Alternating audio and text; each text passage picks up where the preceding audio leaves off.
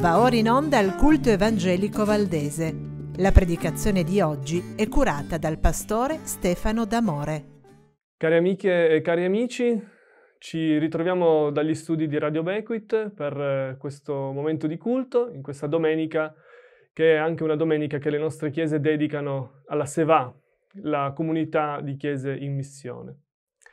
Vogliamo iniziare invocando la presenza del Signore in mezzo a noi. Da dove vieni, sorella mia, fratello mio? Vengo lontano da te, dal Camerun, dall'Italia, dalla Svizzera, dal Togo, dalla Nuova Caledonia, eppure così vicino a te, dalla stessa famiglia di Cristo dispersa sulla terra. Fratello, sorella, questa unità in Cristo costituisce la nostra eredità, lasciataci da fratelli e sorelle che ci hanno preceduto, è un'eredità di amore che ci lega al Padre e al Figlio, un'eredità rinnovata nello Spirito Santo. È un amore che ci spinge ad annunciare al mondo che Dio si dà per tutte e per tutti noi e che questo ci rende la sua famiglia. Fratello, sorella, questa eredità è per noi, per tutte, per tutti, e desideriamo che porti frutto, in mezzo alle minacce, alla paura, alla violenza delle armi, in mezzo alle ideologie alienanti e ai poteri dell'oppressione. Noi proclamiamo che tu, Signore, sei il nostro Dio e noi vogliamo servire te, i tuoi fratelli e le tue sorelle. Fratello, sorella, riconosciamo la sua presenza in mezzo a noi, il nostro canto, il nostro incontro, la nostra vita insieme sono nel nome del Signore che ci ha chiamati, che ci conosce, che ci invita all'incontro e ci stimola al cambiamento. Amen. Ascoltiamo insieme il Salmo 98. Cantate al Signore un cantico nuovo, perché Egli ha operato prodigi. La sua destra e il suo braccio santo l'hanno reso vittorioso.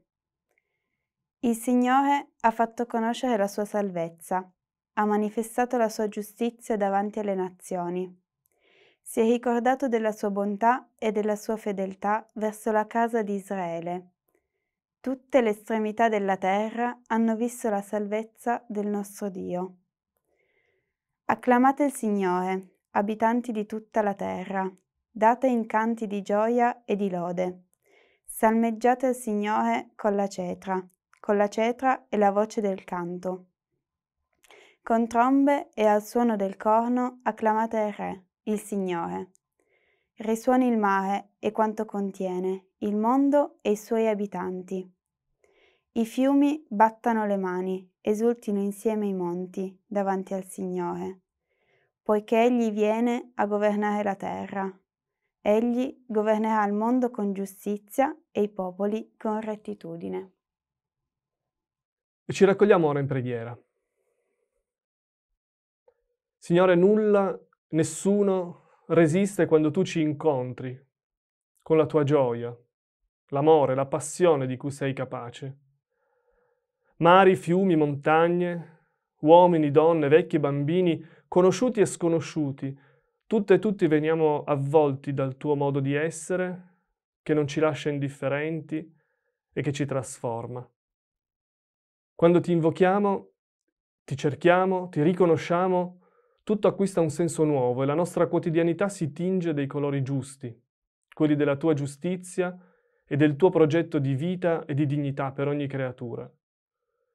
Quando tu ci incontri non possiamo rimanere indifferenti e siamo colpiti dal dono che ci hai fatto di te, mandando tuo figlio.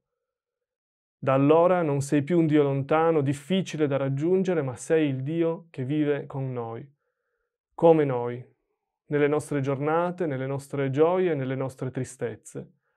Questa tua Chiesa ti ringrazia.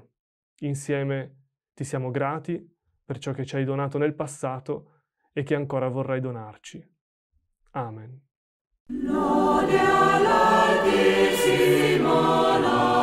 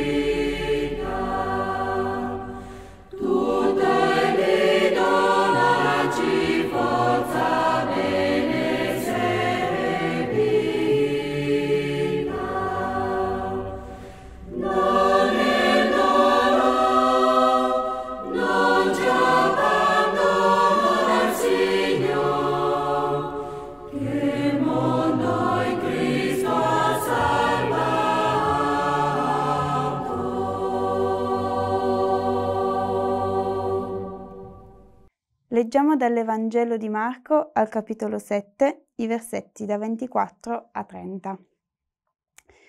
Poi Gesù partì di là e se ne andò verso la regione di Tiro. Entrò in una casa e non voleva farlo sapere a nessuno, ma non poté restare nascosto. Anzi, subito, una donna la cui bambina aveva uno spirito immondo, aveva udito parlare di lui, venne e gli si gettò ai piedi quella donna era pagana, sirofenicia di nascita, e lo pregava di scacciare il demonio da sua figlia. Gesù le disse, Lascia che prima siano saziati i figli, perché non è bene prendere il pane dei figli per buttarlo ai cagnolini. Sì, signore, ella rispose, ma i cagnolini sotto la tavola mangiano le briciole dei figli. E Gesù le disse, per questa parola va il demonio è uscito da tua figlia. La donna, tornata a casa sua, trovò la bambina coricata sul letto. Il demonio era uscito da lei. Care sorelle e cari fratelli, Gesù è stanco. Dopo la discussione con gli scribi, con i farisei, dopo la moltiplicazione dei pani, Gesù è stanco. Dopo aver guarito i malati, camminato sul mare, Gesù ha bisogno di stare un po' da solo, o perlomeno solamente con alcuni, con i suoi amici, i suoi discepoli. Decide addirittura di andare in terra straniera, nella regione di Tiro, e non vuole farlo sapere a nessuno. Ma sembra che non sia facile restare in incognito. La sua fama lo accompagna, lo precede. Nei versetti che vengono subito prima, quelli che abbiamo ascoltato, Gesù aveva detto non c'è nulla fuori dell'uomo che entrando in lui lo possa contaminare. Ciò che entra nell'uomo dal di fuori non lo può contaminare perché non gli entra nel cuore, ma nel ventre e se ne va nella latrina. Sono invece le cose che escono dall'uomo, quelle che le contaminano. Allora, con queste parole Gesù aveva fatto qualche cosa di forte, di particolare, aveva battuto in qualche modo la barriera tradizionale tra il puro e l'impuro. Aveva demolito la base del pensiero per cui determinate cose, determinate persone, anche solo per il fatto di starti vicino, possono trasmetterti impurità. E aveva puntato invece il dito su ciascuno e su ciascuna di noi, sul fatto che l'impurità, il peccato, la malvagità sono in agguato non fuori, ma dentro di noi e che siamo in qualche modo noi a produrre. Forse anche per questo motivo Gesù, senza difficoltà, ci racconta Marco, per cercare riposo va in una terra straniera, impura, entra in una casa straniera. E qui il nostro testo ci offre un incontro, certamente molto particolare. Si avvicina infatti un personaggio, una donna, straniera sul piano religioso, perché pagana, sul piano geografico, perché siro-fenicia. Una donna impura secondo la legge mosaica, che per di più aveva nella sua casa uno spirito impuro che possedeva sua figlia. Ecco, la sua azione, l'azione di questa donna genera, che è un'azione molto audace, genera una reazione che mai ci saremmo aspettati da Gesù, Quest'uomo che noi pensiamo avrebbe dimostrato comprensione, avrebbe dimostrato apertura, lui che aveva già guarito uno straniero poco prima, come l'indemoniato della Decapoli, sembra quasi faticare ora a entrare in dialogo, in empatia con questa donna. Lascia che prima siano saziati i figli, perché non è bene prendere il pane dei figli per buttarlo ai cagnolini. Questa risposta ci sorprende, ci sciocca. Gesù tratta la donna con durezza, quasi con disprezzo come ci saremmo sentiti noi nei panni di questa donna. Tutte le speranze riposte sembrano crollare. Prima i figli di Israele, gli eletti, poi se ne avanza qualche cosa, allora anche gli altri. A questo punto il racconto potrebbe finire con una scena di scuse da parte della donna e chiusa la questione. Ma la donna non si arrende. La sua disperazione non le permette di arrendersi. Diventa ancora più audace dalla sua posizione di inferiorità, di genere, di nazionalità, di religione, e risponde. e risponde con due argomenti. Chiama Gesù Signore e quindi riconosce la sua missione, la sua messianicità. Ed è la prima volta, tra l'altro, che nel racconto di Marco Gesù viene identificato con questo titolo da qualcuno. Una confessione di fede che trasforma subito il dialogo e che pone lei stessa in questo dialogo su un piano diverso, di fiducia. E poi, forse ancora più audace, fa notare a Gesù che la salvezza che da lui viene distribuita sopra il tavolo, potremmo dire, indipendentemente dalla consapevolezza di Gesù, arriva anche quelli che stanno sotto, che stanno in attesa delle briciole, che sono così disperati a volte da accontentarsi di quel poco che però per loro è già tanto. E dunque sostiene lei, straniera, pagana, che la grazia è sufficientemente abbondante per tutti e per tutte. Un fulmine per Gesù, che non solo sente una vera confessione di fede da parte di questa straniera, ma che si vede ribaltare quello che forse finora era stato il suo punto di vista. E infatti non c'è un tempo di attesa, la risposta arriva subito ed è molto diversa dalla precedente. Per questa parola va, il demonio è uscito da tua figlia. Forse le parole di questa donna sono andate a segno più di quanto si aspettasse. Forse è proprio una voce che arriva da fuori, da distante, da un'esclusa, ha in qualche modo raddrizzato, modificato il cammino del Messia. Senza dubbio ha avuto un'influenza.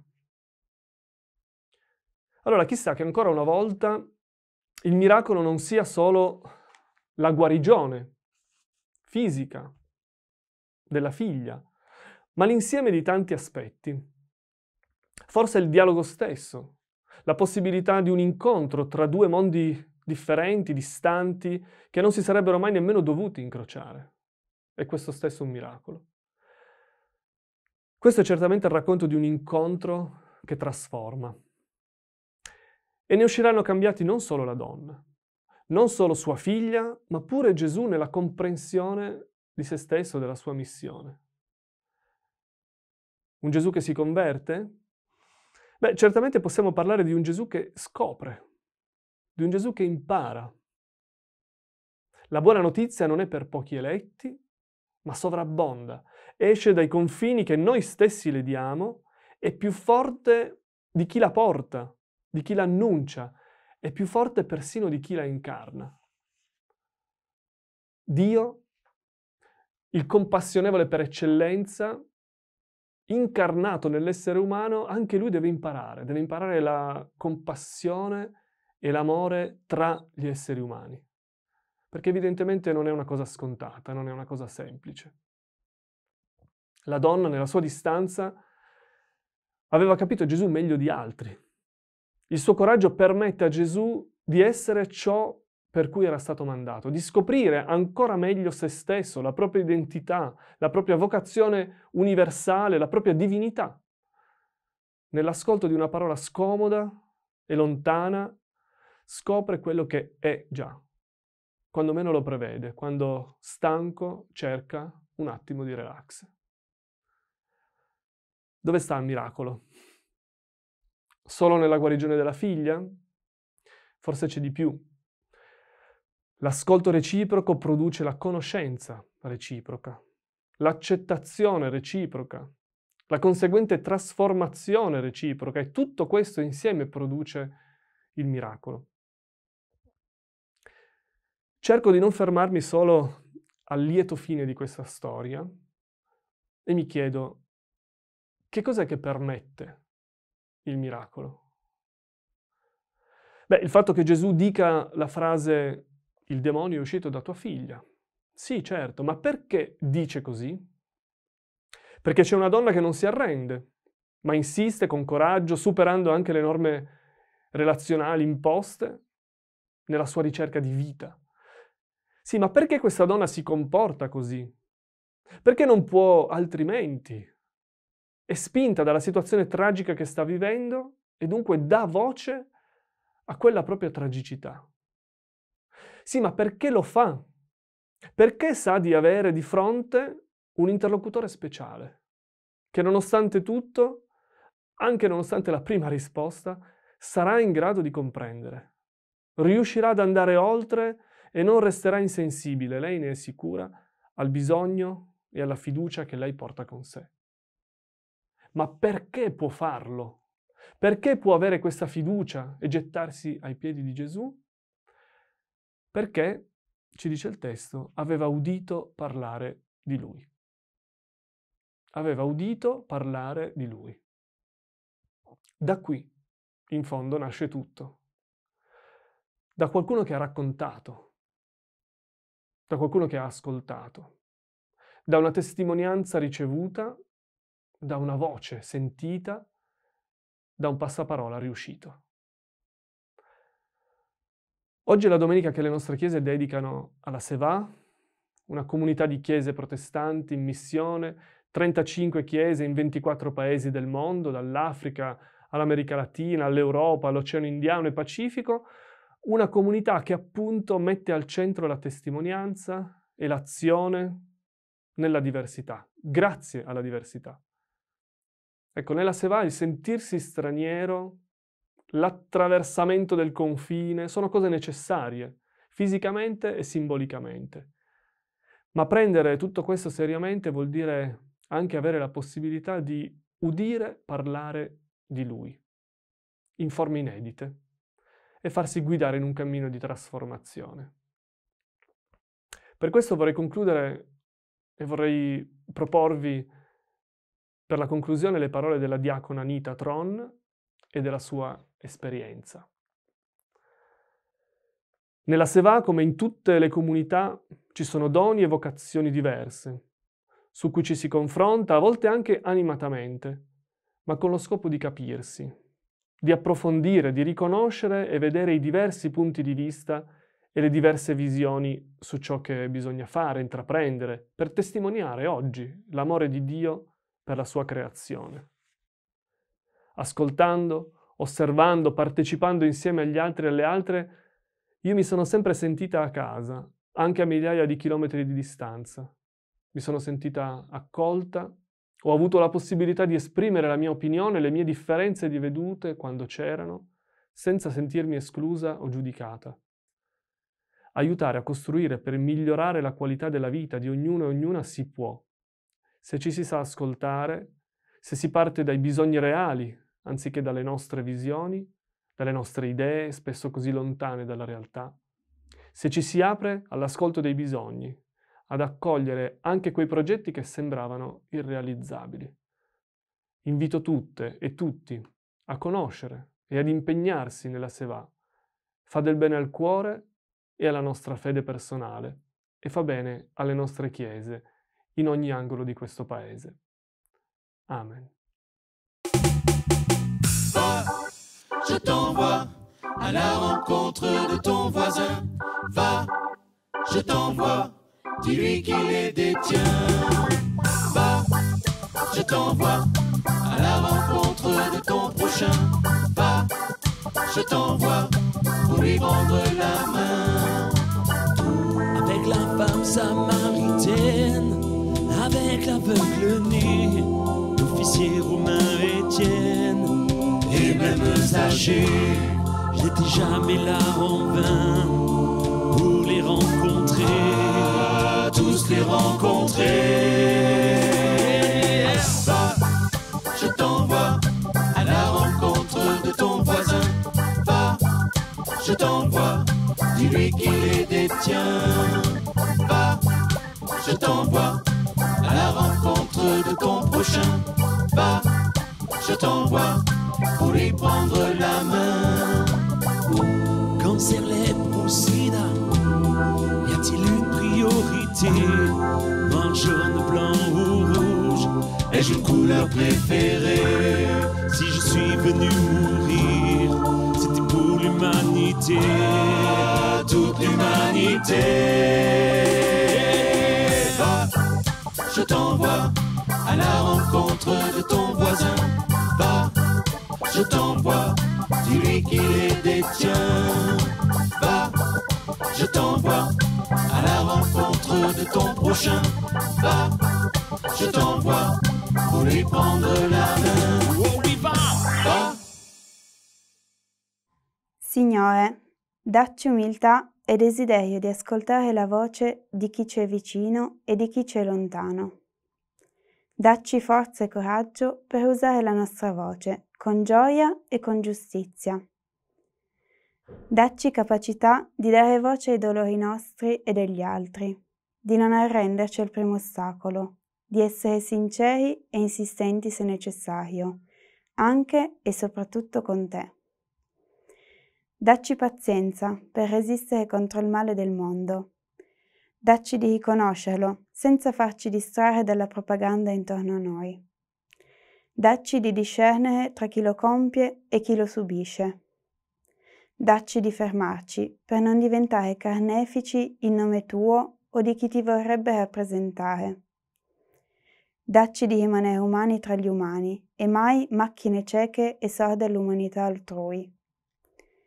E se la nostra resistenza ci sembrerà vana, dacci di ricordare che la tua gloria e la tua potenza di trasformazione vanno oltre il nostro orizzonte. Ti preghiamo nel nome di Gesù che ci ha insegnato a dirti, Padre nostro che sei nei cieli, sia santificato il tuo nome, venga il tuo regno, sia fatta la tua volontà in terra come fatta nei cieli.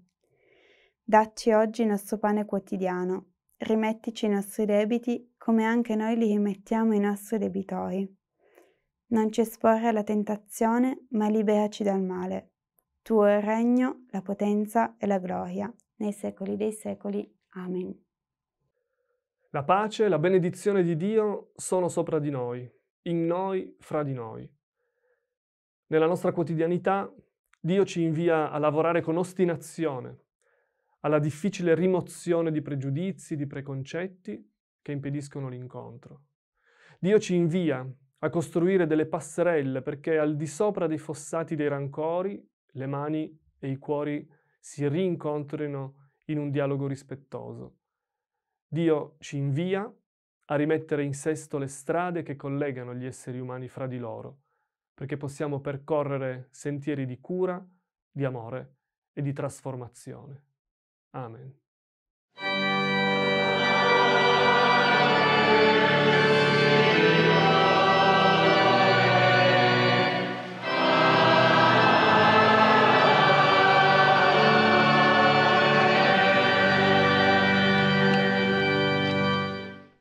Avete ascoltato il culto evangelico valdese.